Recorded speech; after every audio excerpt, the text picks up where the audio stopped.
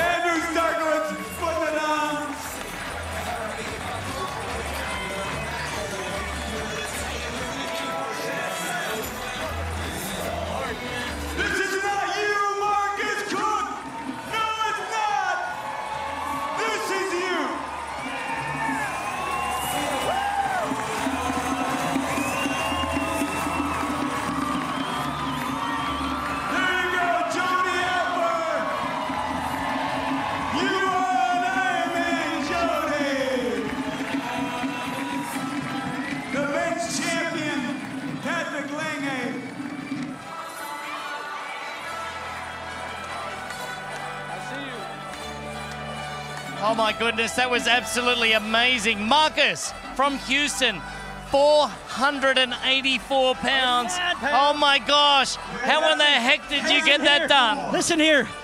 Three years ago, I was a volunteer, just like some of you watching right now. And I looked what these crazy people were doing, and I said, How could I ever do this? I weighed 420 pounds that day.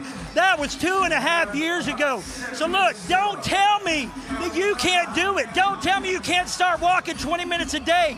Don't tell me because I just did my third Ironman in two and a half years.